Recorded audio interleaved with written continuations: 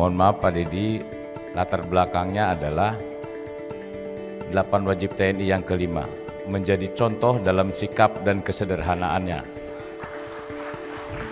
Artinya Pak Dedi saya tunjuk hanya dasarnya sprint saja. Siap, Tid- Jenderal. Tidak dibayar.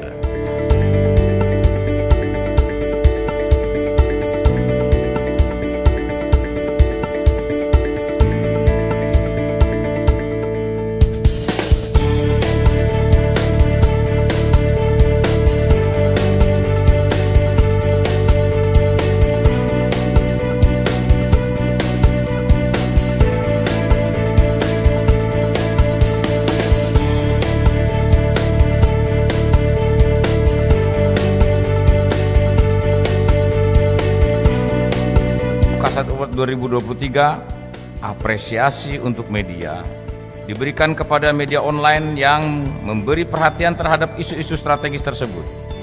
Tentunya media yang menghadirkan informasi dengan mempertimbangkan aspek kelengkapan informasi, variasi penyajian, dan isi konten yang berimbang serta berkontribusi dalam mengedukasi masyarakat.